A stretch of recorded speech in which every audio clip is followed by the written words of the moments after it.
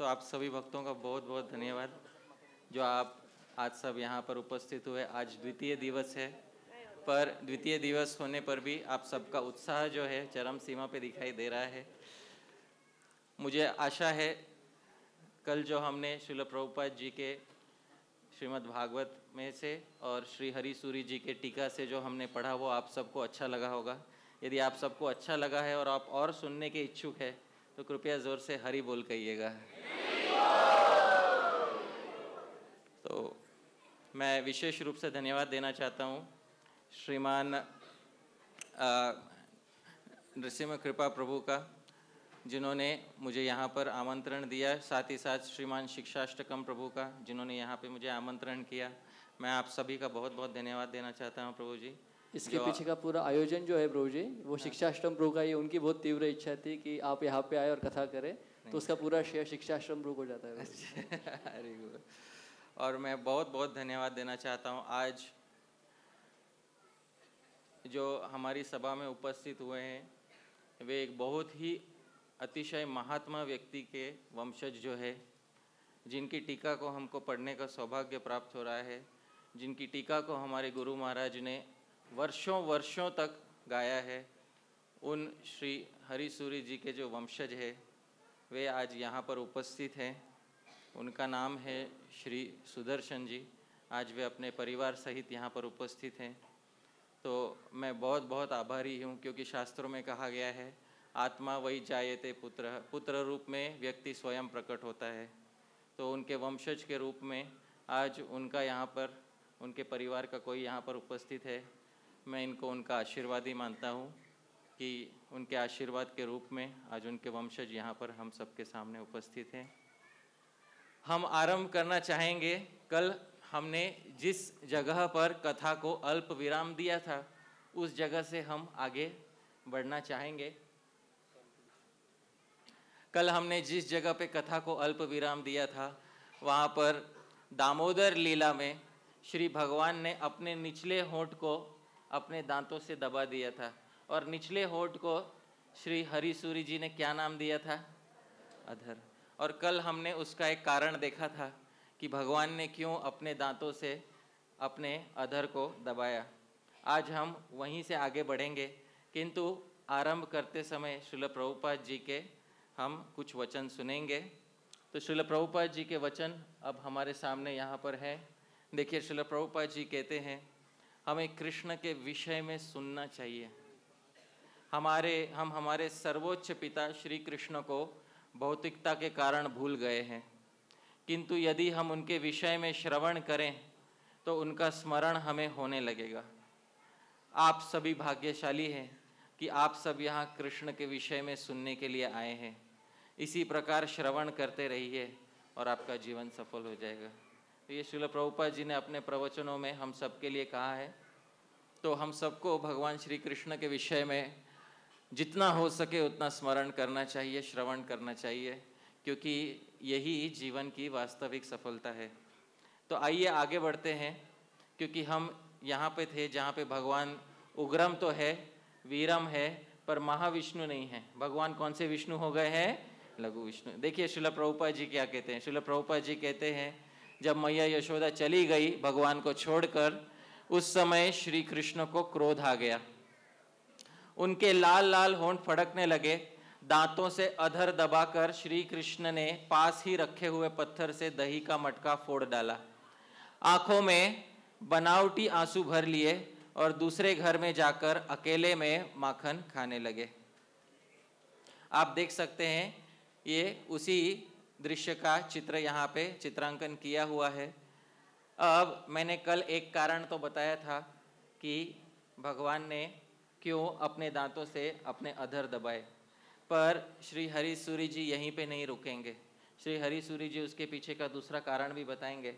दूसरा कारण बताते हुए हरि सूरी जी कहते हैं, भगवान स्वयं पीड़ है। स्वयं पीड़ मतलब खुद को पीड़ा देने वाले हो गए हैं और उन्होंने ऐसा क्यों किया है, उसके पीछे भी एक कारण बताते हैं। ये उन्होंने श्लोक लिखा है, इसका छंद है शार्दुल विक्रीडितम। मैं इसको गाऊँगा, आप मेरे पीछे पीछे दोहराइएगा। यन्मामङ्कगतं पिबन्तमपि च स्तन्यं विहाय प्रसू।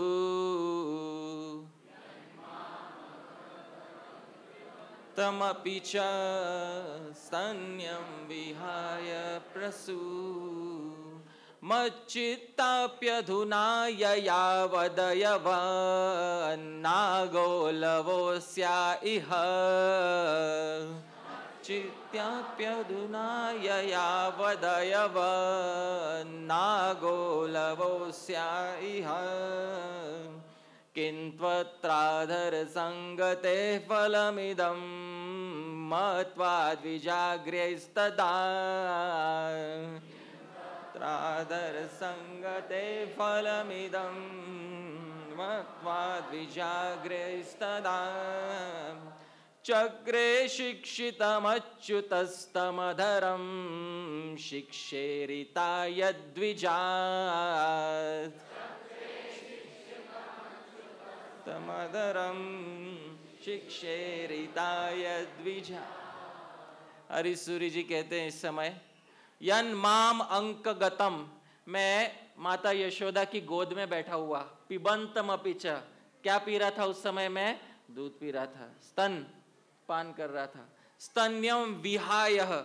मुझे छोड़कर चली गई। कौन? प्रसु। मेरी माता मुझे छोड़ के चली गई। प्रसु कहते हैं माता को, मत चित्ता। यशोदा का तो चित्त मुझमें लगा हुआ है। क्या यशोदा का चित्त भगवान में लगा हुआ है? है या नहीं है? हाँ। हरिसूरी कहते हैं हाँ लगा हुआ है। पी अधुना, पर आज मुझे छोड़ के चली गई। ययाव, चली गई अदयवत।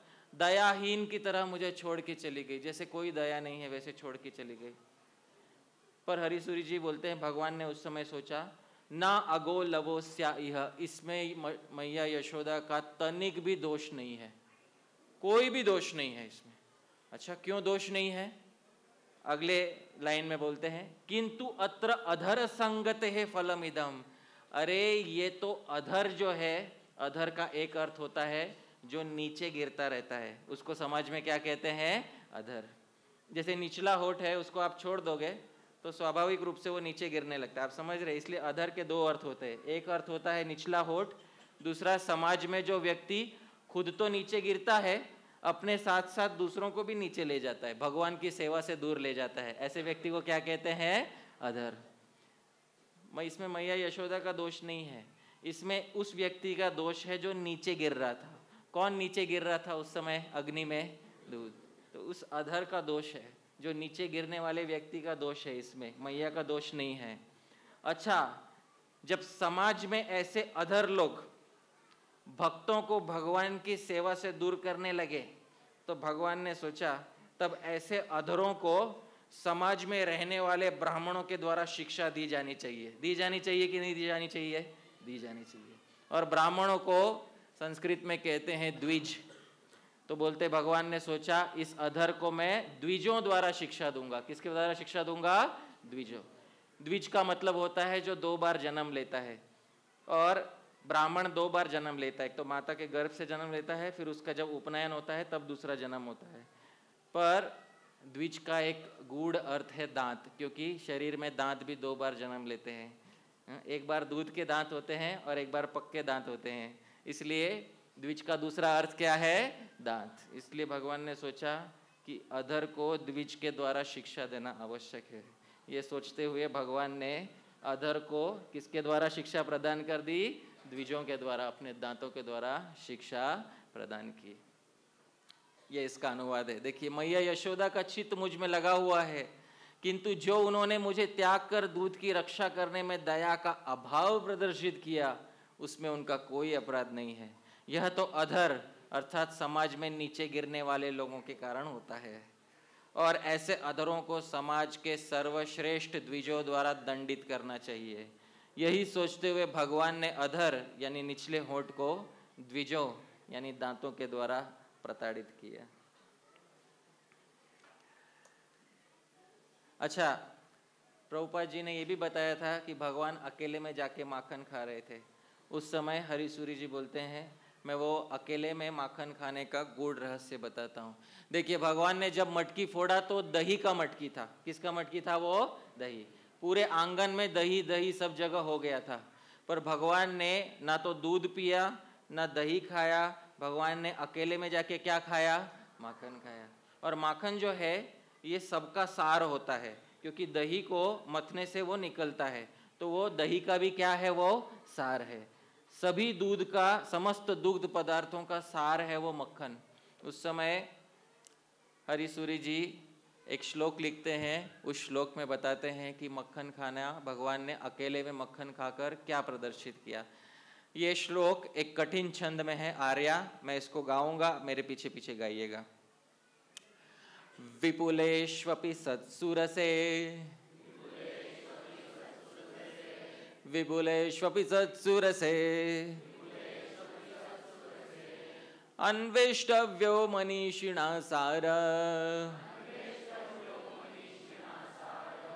अन्वेष्टव्यो मनीषिणा सार।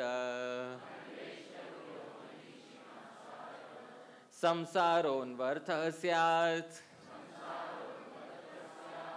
संसारोन्वर्थः स्यात् तदेति नवनीत नवनीतसङ्ग्रहाध्वनितम्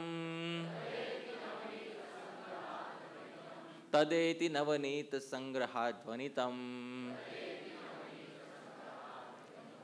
हरिसूरी जी कहते हैं विपुलेश्वपि सत्सु रसेशु रसेशु बहुत सारे रस फैले हुए हो आपके सामने। भगवान के सामने बहुत सारे रस फैले हुए थे। दूध, दही, बहुत सारे रस फैले हुए थे। अन्वेष्टव्यो मनीषिणा पर मनीषी जो बुद्धिमान व्यक्ति है, वो ढूंढ के निकालता है सभी रसों का सार। सभी रसों का क्या ढूंढ के निकालता है? सार। क्योंकि उन सभी दूध दूध पदार्थों का सार जो है वो मक्खन था। तो भगवान ने बाकी सारे दूध पदार्थ नहीं खाए। पर भगवान ने क्या खाया वहाँ पे? मक्खन, जो सभी दूध पदार्थों का सार है। हम्म? हरिसूरी कहते हैं, संसारो अनवर्थ सियात। तभी जाके आप कह सकते हो कि आपने सभी पदार्थों का सार ग्रहण किया है। सभी को कहते हैं सम और सार। तभी जाके आप संसार में रहे हो, अगर आपने संसार ग्रहण। सम मतलब सभी का क्या ग्रहण किया है आपने? सार। जब आपने सभी यानी सम का सार ग्रहण किया है, तभी जाके आप वास्तव में संसार में जिए, वरना आप संसार में नहीं जिए। यही भगवान बताना चाहते हैं। अच्छा इसके पीछे एक और गूढ़ रहस्य भी है जो हरीसूरी जी ने छुपा रखा है। क्या रस तो कहते खाने पीने वाले पदार्थ को रस कहते हैं। रस का एक दूसरा भी अर्थ होता है, जो हृदय में खुशी होती है, उसको रस कहते हैं। हरीसूरी जी कहते संसार में बहुत सारी खुशियाँ हैं, पर बुद्धिमान व्यक्ति ने जो सभी खुशियों का सार है, सभी खुशियों का सार कौन सा रस है, वो है भक्ति रस, वो ढूंढ के निकालना चाहिए। जीवन में बहुत सारे रस मिलेंगे हमको हाँ? पुत्र बनने का रस, पिता बनने का रस, पति बनने का रस, वो सारे रस तो है, पर सभी रसों का सार एक ही रस है। और वो कौन सा रस है? भक्ति रस। मनीषी व्यक्ति ने सभी रसों का सार ढूंढ के निकालना चाहिए और जीवन में भक्ति करना चाहिए। तभी जाके वो व्यक्ति सच में संसार में जिया। अन्यथा जो भक्ति नहीं किया, वो कभी भी संसार में वास्तव में नहीं जिया। ये भगवान ने सभी वस्तुओं के सार माखन खाकर दिखाया यहाँ पर। देखिए, संसार में अनेक रस होने पे भी विद्वान व्यक्ति को सभी रसों का सार ढूंढना चाहिए, जिससे संसार अनवर्थ अनवर्थ मतलब जो नाम है, जैसा नाम है, उसका मतलब सिद्ध हो जाए। यही तथ्य माखन खाते हुए भगवान के द्वारा प्रकट हुआ। उस समय श्रील प्रभुपाद जी बताते हैं श्रीमद् भागवत के अपने अनुवाद में कि उस समय माता यशोदा पुनः वापस आई। आप देख सकते हैं माता यशोदा पुनः वापस आ गई हैं और माता यशोदा जब पुनः वापस आई उस समय श्रील प्रभुपाद जी क्या वर्णन करते हैं अपने श्रीमद् भागवतम में देखिए। यशोदा जी ओटे हुए दूध को उतार कर फिर मथने के घर में चली आई। वहाँ देखती हैं तो दही का मटका टुकड़े टुकड़े हो गया है। वे समझ गई कि ये सब मेरे लाला की ही करतूत है। साथ ही उन्हें वहाँ न देख के यशोदा माता हंसने लगी। अब देखिए, बहुत सिंपल काम किया। यशोदा माता क्या करने लगी उस समय? हंसने लगी। अब यशोदा माता हंस रही है। इसके पीछे भी कविवर श्री हरिसूरी के हृदय में भगवान ने कुछ रहस्य छुपा के रखा है। आप सब जानना चाहते हैं माता यशोदा क्यों हंसने लगी? तो देखते हैं श्री हरिसूरी जी वहाँ पर क्या कहते हैं। देखिए, उन्होंने इस श्लोक में माता यशोदा के हंसने का रहस्य बताया है। मेरे पीछे पीछे दोहराइएगा। निरर्थकम दुग्धमिदम प्रयाति। त्यासं सयत्नाहमिवावनेस्य ततोऽधिको भूद्व्यय एष चित्राम्। आलक्ष्य सादैव गतिं जहास। यशोदा मैया सोचे अपने मन में निरर्थकम दुग्धम इदम प्रयाति। अरे, मैं सोच रही थी, ये उबलता हुआ दूध निरर्थक व्यर्थ में उबला जा रहा है। हाँ जो दूध उबल रहा था अंदर, वो व्यर्थ में उसका नुकसान होने वाला है। इसीलिए आसाम से यत्ना मैंने जतन किया उस दूध को बचाने के लिए जो उबला जा रहा था अंदर। परिणाम क्या हुआ? ततो अधिको भूत वे उससे ज़्यादा दूध तो मेरा नुकसान हो गया। जितना बचाने गई थी, उससे कई गुना अधिक मेरा क्या हो गया? नुकसान हो गया। अरे, जो करने गई थी, वो कार्य तो हुआ नहीं, और उससे बड़ा नुकसान में लेकर बैठ गई। आलक्ष्य सा दैव गतिम। देखो, भाग्य की कैसी विडंबना है। इस पर यशोदा मैया हंसने लगे। ये उसका अनुवाद है। मैया, यशोदा ने सोचा, चूल्हे का दूध व्यर्थ ही नष्ट हो रहा है। इसलिए मैं उसे बचाने के लिए दौड़ पड़ी। किंतु परिणाम यह हुआ कि जितना बचाने गई थी, उससे अधिक तो मेरा नाश हो गया। ऐसा सोचते हुए भाग्य की गति पर मैया यशोदा हंसने लगी। अब हमको बहुत साधारण लग सकता है, इसमें कौन सी बड़ी बात है? पर हरिसूरी जी ने इसके पीछे एक बहुत बड़ा न्याय छुपा के रखा, क्योंकि सभी शास्त्रों के ज्ञाता थे। इसके पीछे उन्होंने एक बहुत बड़ा न्याय छुपा के रखा है। न्याय शास्त्र में उस न्याय को कहते हैं, वधु माश मापन न्याय। मेरे पीछे दोहराइएगा, वधु माश मापन न्याय। अब ये न्याय क्या होता है? ये श्री हरिसूरी जी ने इस श्लोक में छुपा कर रखा है। क्या न्याय है ये? एक समय की बात है उज्जैन में एक बहुत बड़ा पंडित था ब्राह्मण था उसने एक व्रत लिया था। उसने व्रत क्या लिया एक दिन? हर द्वादशी को एकादशी का जो अगला दिन होता है द्वादशी को मेरे घर पे जो भी आएगा याचक मांगने के लिए उसको मैं एक मुट्ठी भर के माश माश कहते हैं राजमा को, एक मुट्ठी भर के राजमा दूँगा। ये उसका व्रत था। तो पहले द्वादशी के दिन जो भी उसके घर पे आया, याचक उसको एक एक मुट्ठी राजमा देने लगा। धीरे धीरे उसकी प्रसिद्धि फैलने लगे।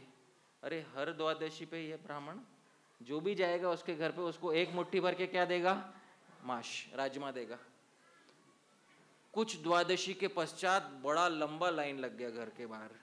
तो ब्राह्मण भी परेशान हो गया, अब मैं क्या करूँ?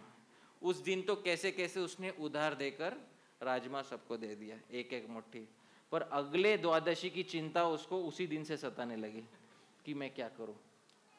फिर उसके मन में एक बहुत अच्छा उपाय उसने सोचा, मैं एक काम करूँगा, मेरे बेटे की अभी अभी शादी हुई है और जो मेरी वधु है मतलब बेटे की पत्नी है, वो अभी बहुत छोटी, उसकी अठारह साल ही उम्र है। उसकी मुट्ठी बहुत छोटी है, अगली बार उसके हाथ से दान कराऊँगा मैं।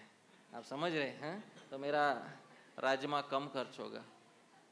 जब अगली बार कुलवधु ने राजमा देने के लिए वहाँ पे खड़ी रही तो वो इतनी सुंदर थी, सारे भिक्षुक देख के आकर्षित हो गए और आसपास के सभी गाँवों में बात फैल गई उसी समय। बहुत ही सुंदर लड़की जो है राजमा दे रही है।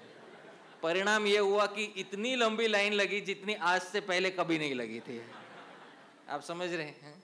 तो जितना बचाने गए थे, उससे अधिक क्या हो गया? हमारा नुकसान हो गया। इसको कौन सा न्याय कहते हैं? वधु माश मापन ये न्याय श्री हरीश्वरी जी ने अपने इस ग्रंथ के श्लोक में यह रहस्य छुपा के रखा हुआ है। हम्म। अच्छा आपने आज तक ऐसे बहुत सारे लोगों को देखा होगा जो दूसरों के घर में चोरी करते हैं, पर अपने ही घर में चोरी करने वाला चोर हाँ इससे पहले शायद आपने नहीं देखा होगा। आप देख सकते हैं, अपने ही घर में चोरी करने वाला हाँ कौन सा चोर हुआ है।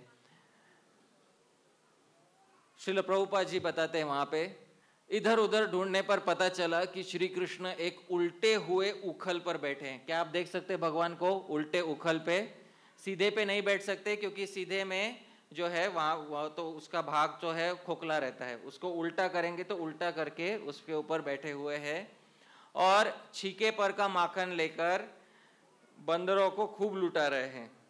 उन्हें यह भी डर है कि कहीं मेरी चोरी खुल न जाए। इसलिए चौकन्ने होके चारों ओर ताकते रहते हैं। उस समय श्रील जीव गोस्वामी कहते हैं, पकड़ने वाले की तो दो ही आँख रहती है, पर चोरी करने वाले की हज़ारों आँखें रहती है। भक्त, झूठ नहीं बोल रहे हैं। इन्हीं को कहते हैं, सहस्र शीर्षा पुरुष, सहस्राक्ष, सहस्रपात। ये सच में सहस्त्र आँख वाले चोर है। सच बात बोलेंगे तो ये भगवान विष्णु है, जिनके हज़ारों हाथ है और हज़ारों आँखें है। सच में ये जब चोरी करते हैं तो ये हज़ार आँख वाले चोर है। इसलिए चौकन्ने होके चारों ओर ताकते जाते ये देखकर यशोदा रानी पीछे से धीरे धीरे उनके पास जा पहुँची। उस समय श्री हरिसूरी जी कहते हैं, देखो, भगवान का उदार स्वभाव कैसा है? मेरे पीछे दोहराइए। न यदेवदान्यस्य सच्शीलं खल संगतः उलूखल कृतावासो प्यौदार्यान्नच्युतोच्युत हरिसूरी जी कहते हैं, न हियते वदान्यस्य। जो दानी व्यक्ति होता है, बहुत दानवीर होता है, न हियते, उसके दान देने की जो उसका स्वभाव होता है, वो कभी कम नहीं होता। खल संगत, यद्यपि वो व्यक्ति किसी खल के संगत में भी आ जाए। खल कहते हैं दुष्ट व्यक्ति को। किसको कहते हैं खल? दुष्ट दुष्ट व्यक्ति की संगति में आने पे भी उसका अच्छा गुण जाता नहीं है दान देने का। देखिए ना, यहाँ भगवान खल नहीं, उलू खल। उलू कहते हैं बड़ा। बड़े खल के संगत में बैठे हैं। कौन से खल के संगत में बैठे हैं? उलू खल। यानी बड़े खल की संगत में बैठे हुए हैं। पर बड़े खल के संगत में बैठने पे भी अपने दान करने से भगवान कभी चुके नहीं। औदार्य न च्युतो च्युत अच्युत है, कभी गिरते नहीं है अपने व्रत से, इसलिए अपने औदार्य से भगवान गिरे नहीं। यद्यपि उलू खल उलू खल का एक अर्थ होता है उखल, और उलू खल का दूसरा अर्थ होता है उलू मतलब बड़ा, और खल मतलब दुष्ट। बड़े दुष्ट व्यक्ति पे बैठे हैं उलू खल पे बैठे हैं, फिर भी भगवान अपने दान करने के स्वभाव से चुके नहीं। देखिए, उदार व्यक्ति का स्वभाव किसी खल का संग होने पर भी जाता नहीं है। देखिए, स्वयं उलू खल यानी बड़े खल पर बैठने के बाद भी भगवान अच्युत अपने औदार्य के गुण से च्युत नहीं हुए। उस समय श्रील प्रभुपाद जी बताते हैं, जब श्री कृष्ण ने देखा कि मेरी माँ हाथ में छड़ी लिए मेरी ही ओर आ रही है, तब झट से ओखली पर से कूद पड़े और डरे हुए की भांति भागे। और मुझे बहुत अच्छा लगा भक्तों, जब मैंने ये प्रभुपद जी के द्वारा पढ़ा, मुझे बहुत अच्छा लगा। क्यों अच्छा लगा मैं बताता हूँ आपको। शास्त्रों में दिया हुआ है, यस्य भये न सूर्य उदयति, यस्य भये न वातो वाती, जिसके भय से सूर्य उगता है। किसके भय से सूर्य उगता है? भगवान के। जिसके भय से वायु बहती है, जिसके भय से संसार चलता है। आप मानते हैं कि नहीं कि संसार भय के ऊपर चलता है? सही बात है कि नहीं? तो वो भगवान जो सबको भय में डालता है, आज संसार में एक व्यक्ति ऐसा प्रकट हो गया जिसने उस भगवान को भय में डाल दिया। कौन है वो व्यक्ति? भगवान को उनकी ही कड़वी दवाई थोड़ा सा पिलाने का जो काम किया है, वो एक ही भक्त कर पाए हैं। और वो कौन है मैया? यशोदा। मुझे बहुत खुशी हुई है सुन के। क्योंकि हम सबको आजीवन डर में रखने वाले हैं, जो उनको कभी ना कभी तो डर का थोड़ा एहसास होना चाहिए कि नहीं होना चाहिए। बोलिए, होना चाहिए कि नहीं होना चाहिए? होना चाहिए। आज तक तो बिना निडर होके इधर उधर घूमते रहते थे वृंदावन में। इतने निडर थे कि मैया यशोदा जब हाँ दही मत रही थी तो अपना हाथ ला के मथानी को रोक दिया सीधा। लेकिन आज उनके हृदय में पहली बार मैया यशोदा ने थोड़ा सा डर यद्यपि ये डर आध्यात्मिक है, भौतिक डर नहीं है, फिर भी थोड़ा सा डर उत्पन्न कर दिया है। ऐसे मैया यशोदा की जय हो, क्योंकि और कोई व्यक्ति ये काम नहीं कर पाएगा। जो दशरथ से नहीं हो पाया, जो कौशल्या से नहीं हो पाया, जो भगवान के और किसी माता पिता से नहीं हो पाया, वो कार्य एक व्यक्ति ने किया है। और वो कौन है? मैया वो कार्य करके दिखाया है। उस समय देखिए, भगवान भागने लगते हैं। प्रभुपाद जी अपने अनुवाद में कहते हैं, सुखदेव गोस्वामी परीक्षित महाराज से कहते हैं, परीक्षित बड़े बड़े योगी तपस्या के द्वारा अपने मन को अत्यंत सूक्ष्म और शुद्ध बनाकर भी जिनमें प्रवेश नहीं कर पाते, पाने की बात तो दूर रही, उन्हीं भगवान के पीछे पीछे उन्हें पकड़ने के लिए यशोदा जी दौड़ी। और मैंने आपको कल बोला था, भगवान की एक एक उपाधि यशोदा मैया निकाल देगी। हम सभी सुबह गाते हैं उग्रम वीरम महाविष्णु ज्वलंतम सर्वतोमुखम गाते हैं कि नहीं? अब आप मुझे बताइए ये देखकर भगवान यहाँ पे उग्र है या अनुग्रह है? हाँ, भगवान गुस्से में है या खुद डरे हुए है? अनुग्रह है। यहाँ वीर है या अवीर है? वीर होते तो डट के खड़े रहते जो वीर नहीं होता वही भाग जाता है मैदान से। यहाँ वीर है या अवीर है? अच्छा महाविष्णु है या लघु विष्णु है? अच्छा कहते हैं सर्वतोमुखम, सब जगह उनका मुख है, सभी दिशाओं में। अगर सभी दिशाओं में उनका मुख है तो क्या हम मैया यशोदा की दिशा में मुख कर सकते हैं इस समय? सभी दिशाओं में हो सकता है, लेकिन मैया यशोदा की तरफ़ उनका मुख नहीं है इस समय। आप समझ रहे भगवान की जो भी सारी भगवत्ता है, उनकी जो सारी उपाधियाँ हैं, भगवान होने का जो उनका गौरव है, वो भगवान को मैया यशोदा के, तुम्हारे वृंदावन के बाहर रखना, वो सब वृंदावन के अंदर तुम्हारा एक एक उपाधि जो है तुमको छोड़ना पड़ेगा। सर्वोपाधि विनिर्मुख ये भक्तों के लिए नहीं, ये भगवान के लिए भी लागू होना चाहिए। सभी उपाधियों से मुक्त होकर रहना वृंदावन में। एक आम नागरिक की तरह जीवन व्यतीत करना होगा आपको। तभी जाके प्रेम बढ़ेगा, उसके बिना कभी प्रेम नहीं बढ़ सकता।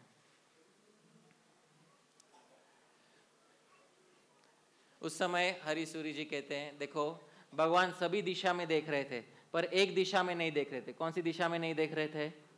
यशोदा मैया की दिशा में भगवान नहीं देख रहे थे।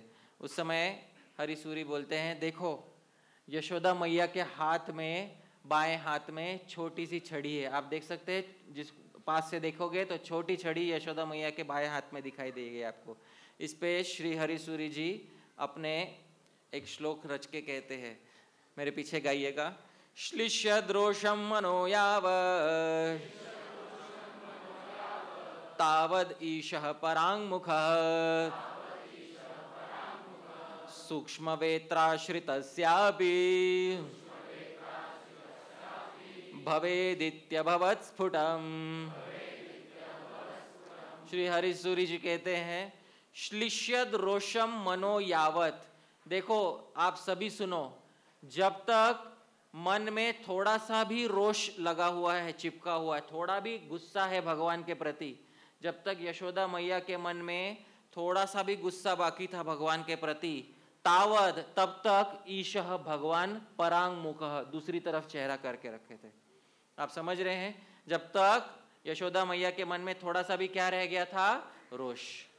तब तक भगवान ने अपना चेहरा उनकी तरफ़ नहीं किया।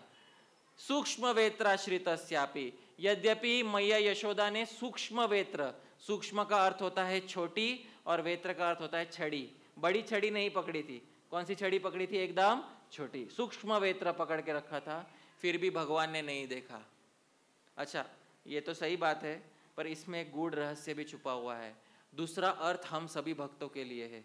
सभी भक्तों के लिए हरि सूर्य जी कहते हैं, श्लिष्यद रोशम मनोयावद जब तक हम भक्तों के मन में भगवान के प्रति थोड़ा सा भी क्रोध है, थोड़ा सा भी प्रतिकूल भाव है तावद ईशह परांग मुख, तब तक भगवान कभी हमारी दिशा में नहीं देखेंगे। आप समझ रहे भक्तों? जब तक हमारे मन में थोड़ा सा भी भगवान के प्रति रोष रह गया है कि भगवान क्यों मुझ पर कृपा नहीं करते। तावद ईशह परांग मुख, तब तक भगवान परांग मुख रहेंगे। सूक्ष्म वेत्राश्रित सूक्ष्म का दूसरा, सूक्ष्म वेत्र का दूसरा अर्थ है सूक्ष्म ज्ञान होने पे। ब्रह्म ज्ञान भी हो आपको, सूक्ष्म ज्ञान हो। वेत्र का दूसरा अर्थ होता है ज्ञान।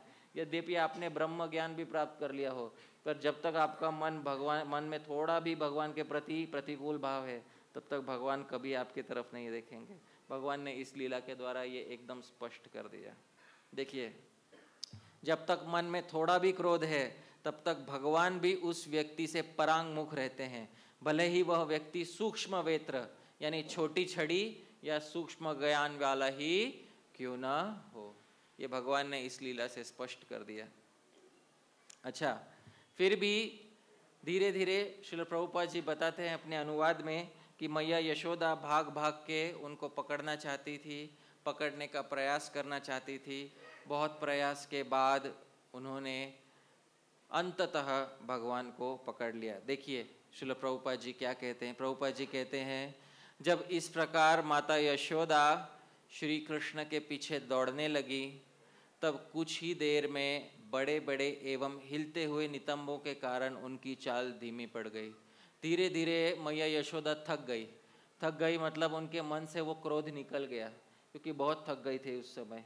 श्रील जीव गोस्वामी गोपाल चंपू में कहते हैं, जैसे पूर्व दिशा में एक बड़ा बादल हो और उत्तर दिशा में एक छोटा बादल हो और हवा से दोनों बादल एक ही दिशा में जा रहे हो तो क्या बड़ा बादल छोटे बादल को कभी पकड़ सकता है? नहीं पकड़। वैसे ही मैया यशोदा ने भी बहुत प्रयास किया, क्यों पर क्योंकि मैया यशोदा का जो शरीर था वो बहुत बड़ा था और कृष्ण का शरीर बहुत छोटा और फुर्तीला था। इस कारण से मैया यशोदा भगवान श्री कृष्ण को पकड़ नहीं पाई।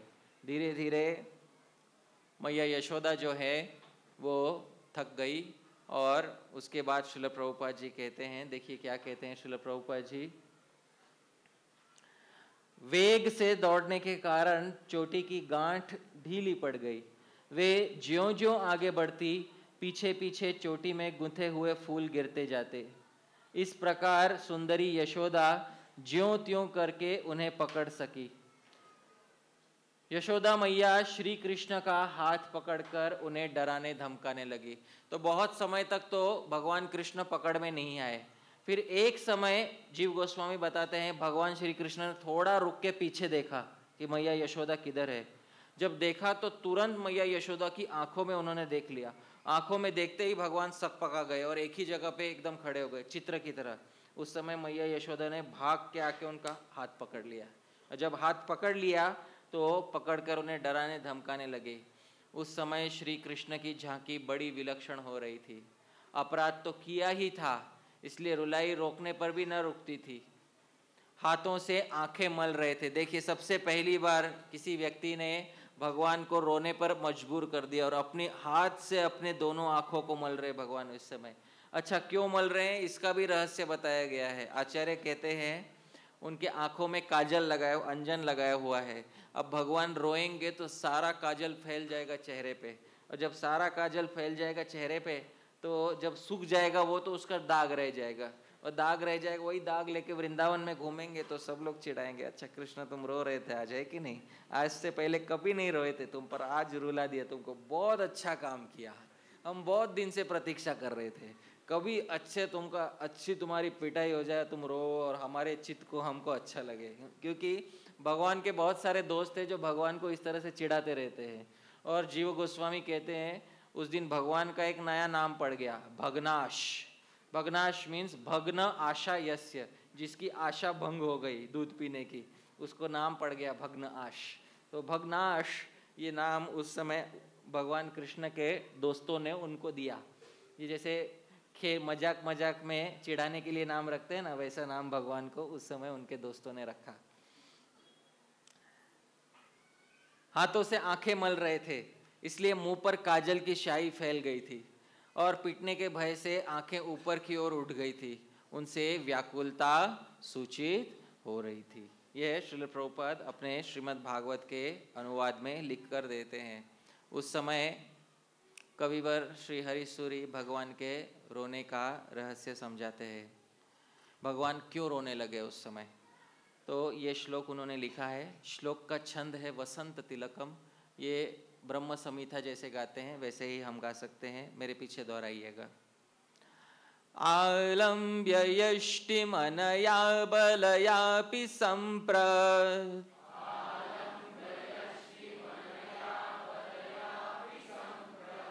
त्यङ्गीकृता सबलतेति विचिन्त्य कृष्ण।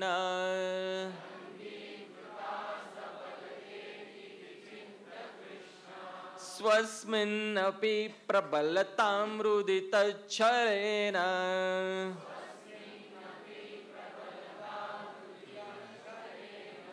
व्यक्ति चकार रुदितम ही बलम शिशुराम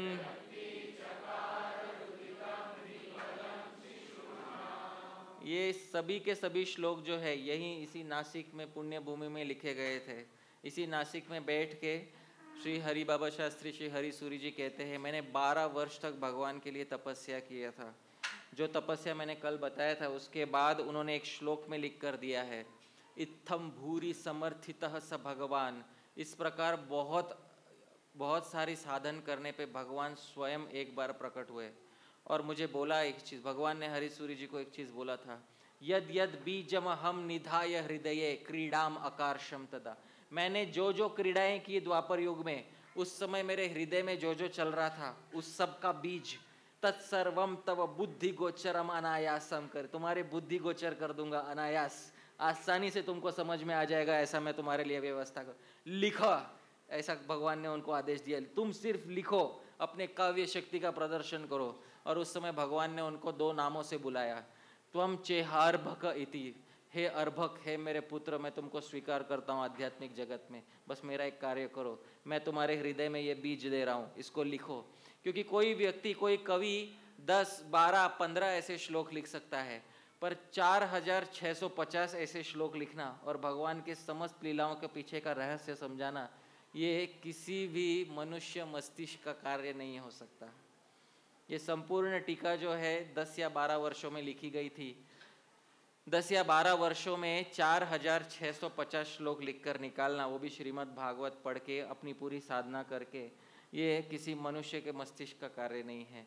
इन्होंने अपने ग्रंथ में ही लिख कर दिया है कि भगवान ने स्वयं एक बार दर्शन दे के मुझे बताया था कि ये सब तुम लिखना। तब जाके मैं इस कार्य में प्रवृत्त हुआ हूँ। उसके पहले मेरी कोई प्रवृत्ति नहीं थी इस कार्य में। मैं अपने साधन में खुश था, साधन भक्ति में मैं खुश था। पर किंतु भगवान ने एक बार दर्शन दे के मुझे जो आज्ञा दी है, उस पर मैं, इसलिए मैं लिख रहा हूँ। तो हरिसूरी जी इस श्लोक में रहस्य बताते भगवान क्यों रोने लगे? उसका एक रहस्य इस प्रकार है। भगवान सोच रहे हैं, आलम्ब्य यष्टिम, अनया अबलया संप्रति। स्त्री का संस्कृत में एक नाम होता है, स्त्री को संस्कृत के कोशों में एक नाम दिया गया है, अबला। तो एक स्त्री का एक पर्यायवाची शब्द होता है, अबला। भगवान श्री कृष्ण सोच रहे थे, ये है तो अबला। यशोदा, है तो कौन है? अबला। अबला मतलब स्त्री है। पर आलम्ब्य यष्टिम। अभी हाथ में उसने कुछ पकड़ के रखा है। क्या पकड़ के रखा है इस समय? छड़ी। उससे बन गई है सबला। क्या बन गई है वो? सबला। है तो अबला। पर हाथ में पकड़ लिया यष्टि, छड़ी। और अबला से क्या बन गई है? सबला। और सबला बन के अपनी सबलता दिखा रही है। मतलब अपना ताकत दिखा रही है मेरे सामने। अच्छा। विचिंत्य कृष्ण। कृष्ण भी सोचने लगे, मैं भी जवाब देना चाहता हूँ। अच्छा मैं क्या करूँगा? अगर ये सबलता दिखा रही है तो मैं उससे बड़ी प्रबलता दिखाऊँगा। अच्छा क्या प्रबलता दिखाओगे? आखिरी लाइन में हरिसूरी जी कहते हैं, रुदितम ही बलम शिशु नाम अरे, बच्चों का एक ही बल होता है। क्या बल होता है? रोना। और अगर आपको यकीन नहीं हो कि बच्चों का बल रोना होता है तो अगर कोई एक बच्चा यहाँ पर आ जाए और ज़ोर से रोने लगे तो सभा का मूड खराब हो जाएगा। सही बात है कि नहीं, है? हाँ? इतने सारे भक्त एक तरफ़ और एक बच्चा एक तरफ़। तो हरिसूरी जी एकदम बराबर कहते रुदितम ही बलम शिशु नाम। वो अबला से सबला हो गई रहेगी, पर मैं भी प्रबल बन के दिखाऊँगा। और मैं अपना अकेला जो मेरा सामर्थ्य है, वो यहाँ पे प्रकट करूँगा। और मेरा सामर्थ्य है रोना। ये देखिए इसका अनुवाद है। भगवान ने सोचा, हाथ में छड़ी पकड़कर यह अबला, यानी नारी बहुत सबला, बलशालिनी हो गई है। अगर ऐसा है तो मैं भी अपनी प्रबलता दिखाऊँगा। कौन सी प्रबलता? रोना ही बच्चों का सर्वोत्कृष्ट बल है। इसमें हरिसूरी जी ने एक बहुत गूढ़ नीति शास्त्र का रहस्य छुपा के रखा है। इसमें उन्होंने चाणक्य नीति से एक श्लोक के आधार पे ये श्लोक बनाया है। चाणक्य नीति में ये श्लोक हमारे सामने आता है। देखिए, मेरे पीछे दोहराइएगा। दुर्बल से बलम राजा।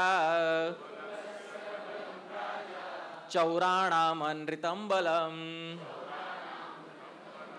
बलम मूर्खस्य मौनित्वम। बालानाम रोदनम बलम।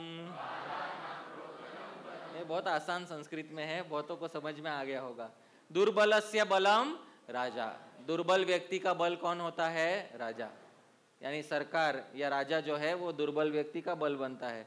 यदि कोई बहुत बलशाली व्यक्ति किसी को आ, किसी के खिलाफ कुछ गलत कार्य कर दे तो सरकार दंड दे सकती है उस बलशाली व्यक्ति को। चौराणाम और चोरों का बल क्या है? अनरितम झूठ बोलना चोरों का बल है। जब तक चोर झूठ बोल रहा है तब तक वो बलशाली। जैसे ही सच बोल दिया उसने, एक बार भी सच बोल दिया उसने वहाँ पकड़ा गया वहीं पे।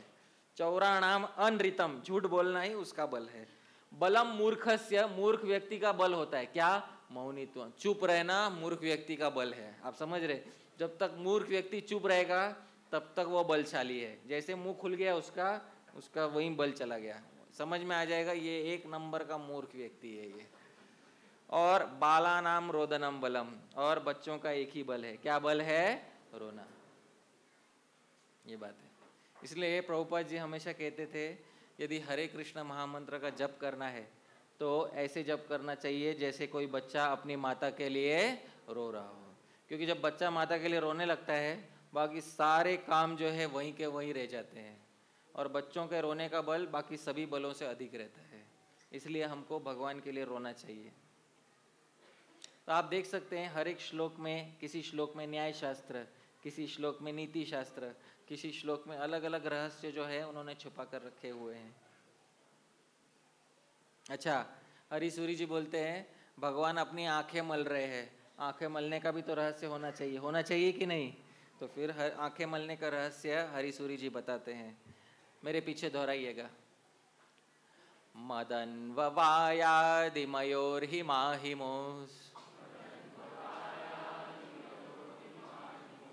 स्त्रयो कलङ्कं मम चाक्षिरूपयो।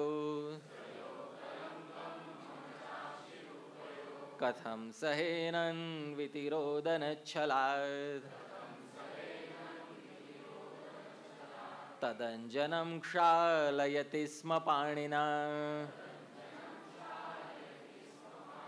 हरिसूरी जी कह रहे इस समय, मद अन्ववाय। अरे मेरे बहुत बड़े बड़े दो परिवार हो चुके इतिहास में। कौन से दो परिवार हो चुके जिनमें मैंने जन्म लिया? एक है सूर्य वंश और दूसरा कौन सा वंश है? चंद्र वंश ये मेरे अनवाय मेरे परिवार है दोनों बड़े बड़े हिमा हिमो। हिम कहते हैं चंद्र को, अहिम। मतलब जो गर्म है वो कहते हैं सूर्य को। हिमा हिमो, ये हरिसूरी जी का शब्द प्रयोग है। मद अनवायादि मयो हिमा हिमो। ये मेरे दो वंश है। और उस वंश के आदि पुरुष है सूर्य और चंद्र।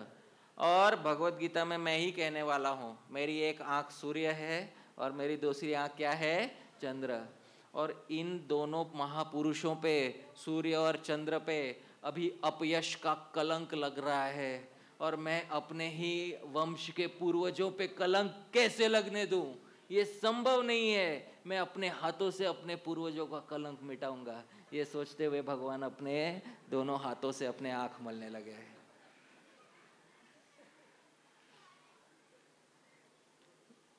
आप में से कौन सोच सकिए कौन से मनुष्य मस्तिष्क की उपज हो सकती है? आप समझ रहे हैं, ये किसी मनुष्य मस्तिष्क की उपज नहीं है।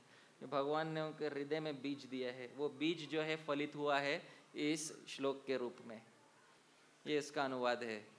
यह मेरे दो नेत्र, सूर्य और चंद्र है। और यह मेरे वंश के आदिम पुरुष है। अब इनके ऊपर अपयश का कलंक फैले जा रहा है। इस अपयश के कलंक को मैं कैसे सहन करूँ?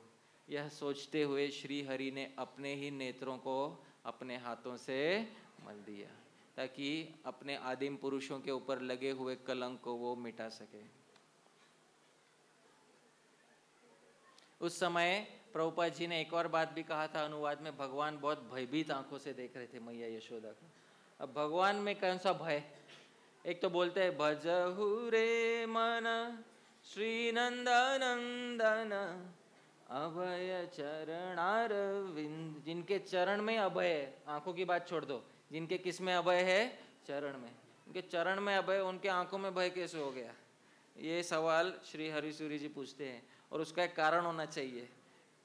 क्या कारण है, वो हमको बताते हैं। देखिए, भगवान की आँखों में आपको भय दिखाई दे रहा है कि नहीं दिखाई दे रहा है? तो दिखाई दे रहा है तो उसके पीछे का रहस्य भी देखिए।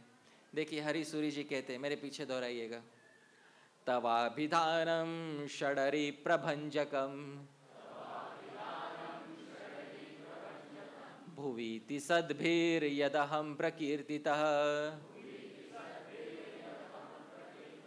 मयि स्थिते रोषसम्भवः कथं जनन्यामिति तादृशे क्षणः। हरिसूरी जी बोलते हैं, दूसरे लाइन में देखिए, भुवीति सदभीर, भूवि इस संसार में जो भी सदभीर, जो भी साधु है, आप सब इस्कॉन मंदिर में आते होंगे, आप सबने बहुत सारे साधु देखे होंगे, बहुत सारे ब्रह्मचारी भक्त है, गृहस्थ भक्त है। ये सब के सब साधु है। यदा हम प्रकृति ये सारे साधु भगवान कृष्ण सोच रहे, सारे साधु मेरा गुणगान करते हैं। क्या गुणगान करते हैं? पहले लाइन में वो गुणगान दिया है। तब अभिधानम, कृष्ण आपका नाम, षड अरि प्रभंजकम, छह शत्रुओं को मारने वाला है। अभिधान कहते हैं नाम को, भगवान का नाम षड अरि प्रभंजकम, छह शत्रुओं को मारता है। अच्छा कौन बता सकते हैं मुझे छह शत्रु क्या है मनुष्य के? काम, क्रोध, लोभ, मोह, मद, मात्सर्य। छह शत्रु है सभी मनुष्यों के।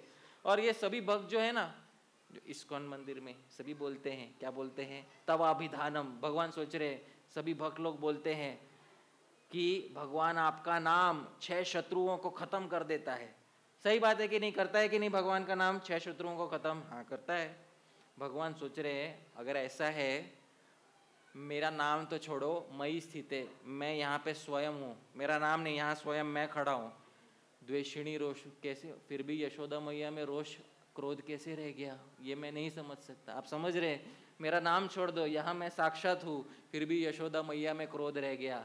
सारे लोग इतिहास इस बात का साक्षी रहेगा कि मेरे रहते रहते क्रोध वहाँ पर मौजूद था, जबकि मेरे नाम लेने से क्रोध चला जाता है। पर अब इतिहास में मुझ पे इतिहास में जब लोग पीछे देखेंगे तो बोलेंगे, अरे, इतना बड़ा बड़ा बात करते थे, पर इनके रहते रहते मैया यशोदा में क्रोध रह गया।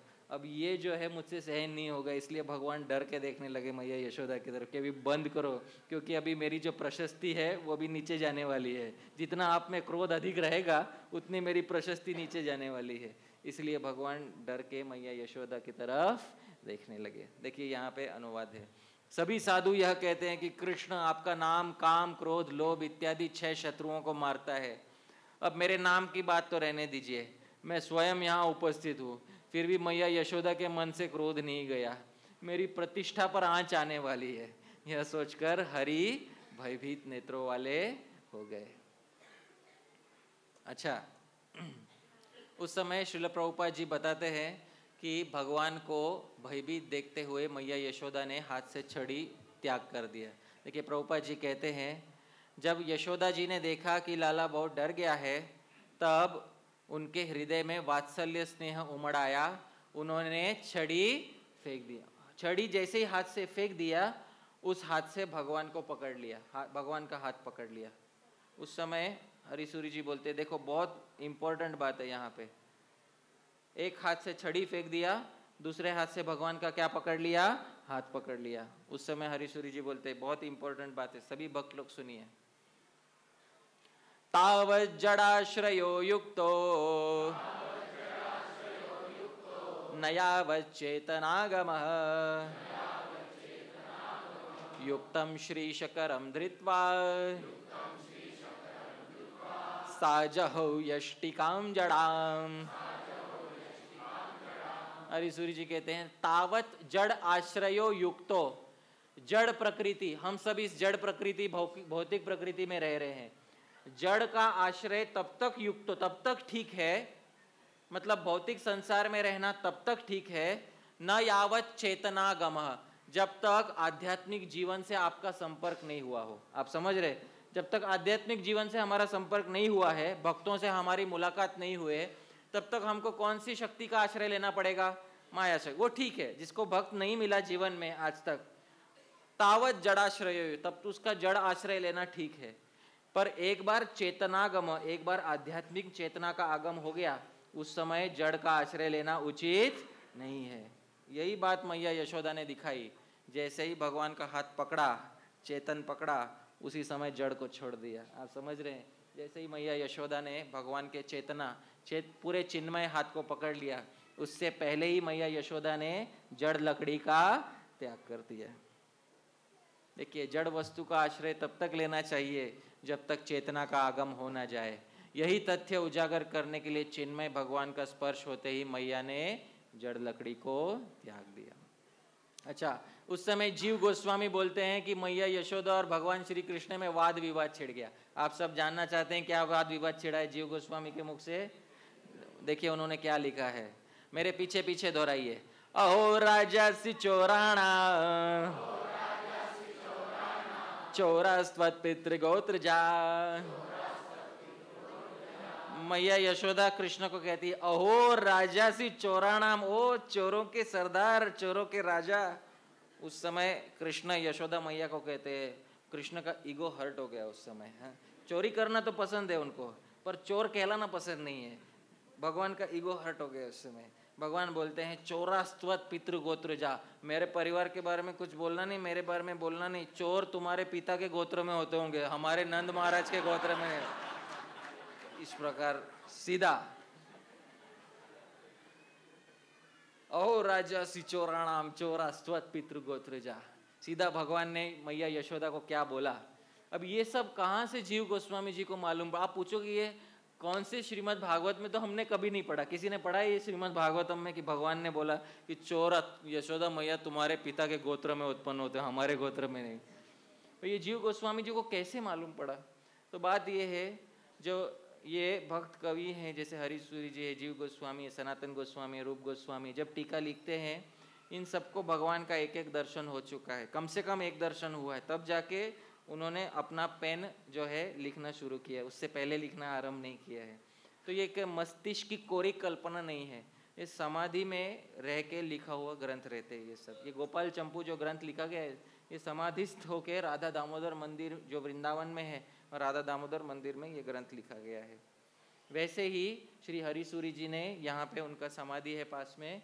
वहाँ पे वो बैठ के समाधिस्थ होके उन्होंने अपने ग्रंथ चार हज़ार छह सौ पचास श्लोक लिखा है। तो मनुष्य मस्तिष्क का कार्य नहीं है। अच्छा उसके बाद यशोदा मैया, देखिए क्या बोलते हैं भगवान कृष्ण को। यशोदा मैया डांट रही है भगवान कृष्ण को। मेरे पीछे पीछे दोहराइए। रे रे, वाचो युक्ति सत्तम। चोरोत्तम। त्वम नरोत्तम जातोपि। वानर प्रियो वानर प्रकृति रेवासी। अरे अरे अरे, झूठ बोलने वाले हाँ वाचो युक्ति सत्तम, अपनी बातों के जाल में फंसाने वाले। चोरोत्तम, चोरों के सरदार तुम नरोत्तम जातो। तुम सबसे बड़े व्यक्ति नंद महाराज से पैदा हुए हो। फिर भी वानर प्रियो, बंदरों से प्रेम रखते हो। सही बात है कि नहीं हाँ? और वानर प्रकृति रे, और उनके साथ रह के तुम भी बड़ा बंदर बन के रह गए हो अभी। तब भगवान को बहुत और बुरा लगा। उस समय जीव गोस्वामी कहते हैं, अगर ऐसा है ना तो मैं चला जाऊँगा बंदरों के साथ। फिर बोलना मत कि मेरा बेटा भाग गया। ऐसे धमकी दिया उस समय भगवान ने, सीधा धमकी दिया। इस समय भी भगवान मान नहीं रहे। आप समझ रहे इसको कहते हैं ना, हिंदी में कहते हैं कि ना, बहुत ही अमीर पिता का बिगड़ा हुआ बेटा। आप समझ रहे हैं? हाँ इस प्रकार का जो स्वभाव दिखाया गया है, वो भगवान ने यहाँ पे चरितार्थ किया है। क्योंकि नंद महाराज सबसे धनाढ़ व्यक्ति है व्रज में, और उनका ये जो पुत्र है, ये किस प्रकार से बिगड़ गया है, ये हम इस वार्तालाप में स्पष्ट रूप से देख सकते हैं। सीधा बोल दिया, धमकी दे दिया, अगर तुम ऐसे बोल रहे हो तो मैं बंदरों के साथ भाग जाऊँगा। तब तो मैया यशोदा ने हाथ पकड़, मैं सब पूरा संस्कृत यहाँ पे नहीं ला पाया हूँ, पर जीव गोस्वामी ने गोपाल चंपू में जो बताया, मैं उसको थोड़े में बताता हूँ यहाँ पे। मैया यशोदा ने हाथ पकड़ के सवाल पूछा, क्यों रे, सच बात बता? वो मटकी किसने फोड़ी? अब आप एक बात बताइए, भगवान सत्य बोलते हैं या झूठ बोलते हैं? सोच के जवाब दीजिएगा, भगवान सच बोलते हैं या झूठ बोलते हैं? भगवान सच बोलते हैं। अगर आप बोले भगवान सच बोलते हैं तो भगवान ने जो उत्तर दिया यहाँ पे, इस उत्तर पे विचार कीजिए। देखिए भगवान ने क्या कहा। जब मैया यशोदा ने पूछा, क्यों रे? वो मटकी किसने फोड़ा बता? सच बता ना, झूठ नहीं बोलना। तब भगवान बोलने लगे वो परमेश्वर का दिया हुआ दंड था। आप समझ रहे हैं?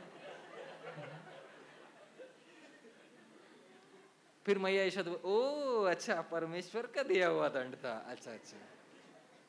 तो मुझे बता बेटा कि बंदरों को मक्खन कौन खिला रहा था, है? उस समय भगवान ने उत्तर दिया, जिसने बंदरों को बनाया है, वही बंदरों को खिलाएगा। आप समझ रहे हैं हाँ? ये सच भी नहीं है और ये झूठ भी नहीं है। इस प्रकार का उत्तर भगवान ने दिया। ये सब आचार्यों ने अपने ग्रंथों में बहुत बहुत रस इसमें निकाला है। आगे हरिसूरी जी और भी रस निकालने वाले हैं इसमें, क्योंकि हर एक चीज़ पे रोक के बोलने वाले, ये क्यों हुआ? ये क्यों हुआ? ये क्यों हुआ? हर चीज़ पे ये क्यों हुआ? ये सब रहस्य एक ही है आचार्य, जिन्होंने अपने ग्रंथ में लिख के दिया है। और वो आचार्य हमारा परम सौभाग्य है कि इस महाराष्ट्र के परम पवित्र नासिक भूमि में उन्होंने उनका आविर्भाव हुआ। वे पूरे जीवन भर यहाँ पे रहे और उन्होंने इस ग्रंथ की रचना की। हरिसूरी जी बोलते हैं, एक श्लोक में पूरी लीला का रहस्य सुनना चाहते हो? अगर एक श्लोक में पूरी लीला का रहस्य सुनना चाहते अब तक जो लीला हुई, क्या लीला हुई है अभी तक? भगवान आए, मैया यशोदा से दूध मांगा यशोदा मैया ने स्तनपान कराया, बीच में भगवान को अतृप्त छोड़ के चली गई। भगवान ने सब विध्वंस कर दिया। भगवान भाग गए। मैया यशोदा उनके पीछे भागी और मैया यशोदा ने पकड़ लिया। अब तक ये लीला हुई है। इस सब लीला का एक रहस्य, एक ही श्लोक में अगर जानना चाहते हो तो हरिसूरी जी अगला श्लोक यहाँ पे बताते हैं। ये श्लोक का छंद अलग है। श्लोक का छंद है शिखरिणी। जैसे जगन्नाथ अष्टकम गाते हैं, वैसे हरिसूरी जी ने उस छंद में लिखा है। मैं गाने का प्रयास करूँगा। ये छंद थोड़ा कठिन है गाने में। मेरे पीछे गाने का प्रयास कीजिएगा। मदीयं सन्तोषं सुफलदम् असम्पाद्यमनुजो सन्तोषं सुफलदम् असम्पाद्यम् यदि क्षुद्रे किञ्चित् फलिनिदेन कर्मण्यभिरता।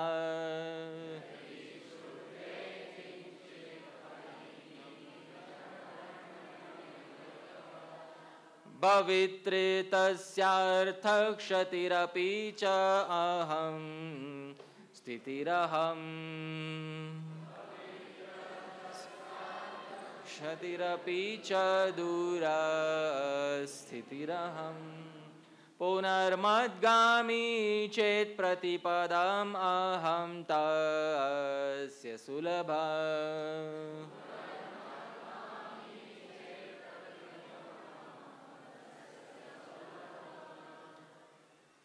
भगवान बोल रहे हरिसूरी जी भगवान के वाणी को यहाँ पे बता रहे। भगवान बोल रहे हैं मदीयम संतोषम सुफलदम। जीवन में यदि कोई मुझे संतोष देता है तो वो सुफलदम, बहुत बड़ा फल प्रदान करेगा आप सबको। ये सभी मनुष्यों का कर्तव्य है कि जब मैं उनके जीवन में आऊँ तो मुझे तृप्त करे। आप समझ रहे हैं? जब मैं उनके जीवन में चल के आऊँ तो सभी मनुष्य ने मुझे क्या करना चाहिए? यशोदा मैया का जो लीला हुई, उसके साथ साथ बोल रहे हैं। जब मैं चल के आऊँ आपके जीवन में तो आपका कर्तव्य है कि आप मुझे संतुष्ट करें भगवान बोल रहे हैं। सुफलदम इससे आपको अच्छा फल मिलेगा। बट असंपाद्य मनुजो बट मनुष्य मे, मेरी संतुष्टि को नहीं करता है मुझे छोड़ के चला जाता है। सही बात है कि नहीं? हा? मुझे बीच में ही अतृप्त छोड़ के चला जाता है। मेरी सेवा छोड़ के चला जाता है मनुष्य। अच्छा क्यों चला जाता है? क्षुद्रे किंचित कुछ थोड़ा प्रॉफिट कमाने के लिए, थोड़ा कुछ बचाने के लिए संसार में चला जाता है। फलिनी दीन कर्मणि अभिरत, इस प्रकार दूसरे कर्म में लग जाता है और मेरा संतोष नहीं करता है। भवित्री तस्य उससे क्या होता है? अर्थ क्षतिरपी वो जो चीज़ बचाने के लिए गया है, जो कमाने के लिए गया है, उससे बड़ा उसका नुकसान मैं कर बैठता हूँ। सही बात है कि नहीं? और दूसरी बात तो सुनिए दूर स्थिति रहम, और उसके जीवन से मैं भाग जाता हूँ। दूर भाग जाता हूँ। अच्छा पुनर्मदगामी चेत बट ऐसा भक्त भी यदि मेरे पीछे फिर से दौड़ने लगे। प्रति पदम अहम तस्य सुलभ। हर पद जो मेरी तरफ़ लेगा, मैं उसके लिए और भी निकट आता जाऊँगा और सुलभ हो जाऊँगा।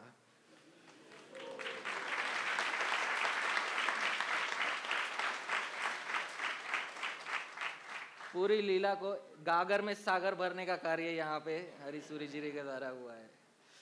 देखिए, कृष्ण पूरी लीला से बता रहे हैं, मुझे प्रसन्न करना मनुष्यों को बहुत अच्छा फल प्रदान कर सकता है। किंतु मनुष्य मेरी सेवा त्याग कर किसी क्षुद्र लाभ के चक्कर में पड़ जाता है। परिणाम यह होता है कि जो लाभ वह कमाने गया है, उससे भी अधिक उसका नुकसान हो जाता है और मैं भी उस व्यक्ति से दूर भाग जाता हूँ। किंतु यदि ऐसा व्यक्ति किसी भी समय वापस मेरे पीछे भागने लगे तो मैं भी उसके द्वारा पकड़ा जाता हूँ और बद्ध हो जाता हूँ। सही बात है कि नहीं, भक्तों? पूरी लीला के द्वारा यही रहस्य समझाया गया है भगवान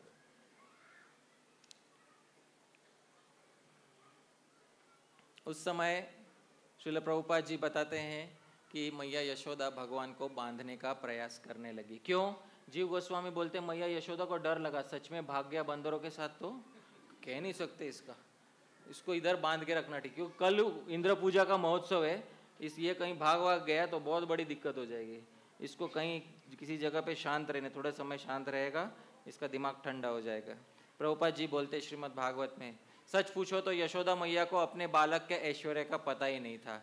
जिसमें ना बाहर है, ना भीतर है, ना आदि है, ना अंत है, जो जगत के पहले भी है, बाद में भी रहेंगे, जगत के भीतर भी है और बाहर रूप में भी है। और तो क्या जगत के रूप में वो स्वयं ही है? यही नहीं, जो सभी इंद्रियों से परे है और अव्यक्त है, उन्हीं भगवान को मनुष्य सा रूप धारण करने के कारण पुत्र समझकर यशोदा रानी रस्सी से उखल में ठीक वैसे ही बाँध देती है, जैसे कोई साधारण सा बालक हो। जब माता यशोदा अपने उधमी और नटखट लड़के को रस्सी से बांधने लगी तो वह रस्सी कितने उंगली छोटी पड़ गई? दो अच्छा आज तक हम सबने सुना है कि रस्सी दो उंगली छोटी पड़ गई, क्यों पड़ गई? क्योंकि दो उंगली श्रील विश्वनाथ चक्रवर्ती ठाकुर ये बताते हैं हमको कि दो उंगलियों का क्या अर्थ है। पहली उंगली का अर्थ क्या है? प्रयास। उनमें थोड़ा प्रयास कम रह गया था। और दूसरी उंगली का क्या अर्थ है? भगवान की कृपा। तो ये श्रील विश्वनाथ चक्रवर्ती ठाकुर की उत्प्रेक्षा है। तो इस समय श्री हरिसूरी जी कहते हैं, पहले एक बात तो मैं बताना चाहता हूँ मेरी बात भी सुनिए, क्या है? यशोदा मैया ने उखल से ही क्यों बांधा?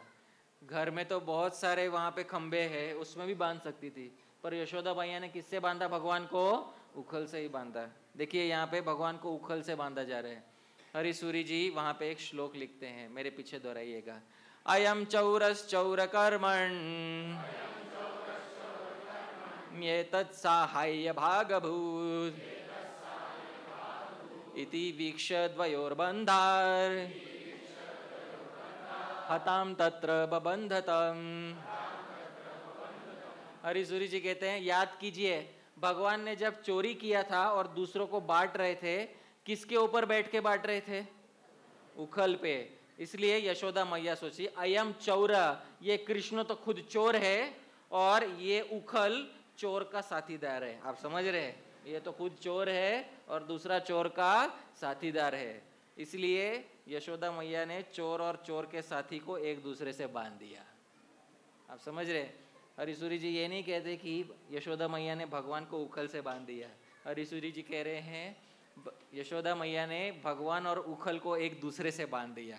क्योंकि एक तो खुद चोर है और दूसरा चोरी के कार्य में सहायता करने वाला है। इसलिए दोनों को एक साथ बाँध दिया। देखिए, एक तो स्वयं चोर है और दूसरा चोर का साथी है। ऐसा मानते हुए मैया ने दोनों को एक दूसरे से बाँध दिया। अच्छा उस समय हमने एक, मैंने एक कारण तो बताया, बंधन संभव नहीं हुआ क्योंकि दो उंगली छोटा पड़ गया था।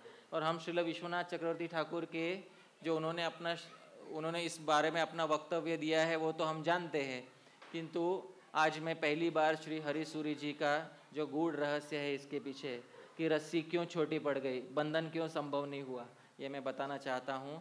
ये आज का अंतिम श्लोक है श्री हरि सूरी जी का, कल यहाँ से लीला आगे बढ़ेगी। तो श्री हरि सूरी जी के अंतिम श्लोक मैं आपके सामने यहाँ पर दिखा रहा हूँ, मेरे पीछे दोहराइए। यस्मिन् कृपानुग्रह वीक्षण विभो। भवत्यसौ वेत्ति न बन्धसम्भवम् युक्तं तदा तद्धरिणा तथेक्षितम्। मुक्तं स्वयं दामनबन्धभागभूत्। मैं आप सबसे एक प्रश्न पूछना चाहता हूँ। मैं किसी एक व्यक्ति को पकड़ता हूँ। प्रभु जी आपका नाम क्या है? दीपराज प्रभु। दीपराज प्रभु हरीसूरी जी एक सवाल पूछते मैं आपसे पूछता हूँ। आप हाँ या ना में जवाब दीजिएगा, ठीक है? सॉरी आज मैंने आपको पकड़ लिया है। यस्मिन कृपानुग्रह वीक्षणम। अगर भगवान एक समय आपके सामने प्रकट होके आपको देख ले, आप पे दृष्टि डाल ले तो आप इस संसार में बद्ध रहोगे या मुक्त हो जाओगे? आप सभी मानते हैं कि नहीं? अगर भगवान एक बार भी प्रकट हो जाए किसी के सामने और आपको देख ले आप बद रहोगे या मुक्त रहोगे? मुक्त रहेंगे। भगवान का दर्शन करना हमारे जीवन का एकमात्र लक्ष्य है। श्रील भक्ति विनोद ठाकुर कहते हैं, जन्म सफल तार कृष्ण दर्शन जार भाग्य हुई अच्छे एक बार। जन्म उसका सफल हो गया जिसके भाग्य में कृष्ण का दर्शन कितनी बार हो गया? एक बार। तो हरिसूरी जी कहते हैं, यस्मिन कृपानुग्रह वीक्षणम विभोर। यदि भगवान अब देख लें किसी को एक बार भी भवत्य सौ वेत्ति न बंध संभवम। वो व्यक्ति के सारे बंधन खुल जाते हैं, वो कभी बंधन में नहीं पड़ सकता। सही बात है कि नहीं? बिल्कुल। युक्तम तदा, इसलिए तो देखो, आप सभी देखो, तस्वीर में देखिए सब लोग, भगवान रोते रोते रस्सी को देख रहे हैं, और जैसे भगवान ने रस्सी को देखा, रस्सी स्वयं मुक्त हो गई, और मुक्त व्यक्ति दूसरे को बंधन में कैसे डाल सकता है भला?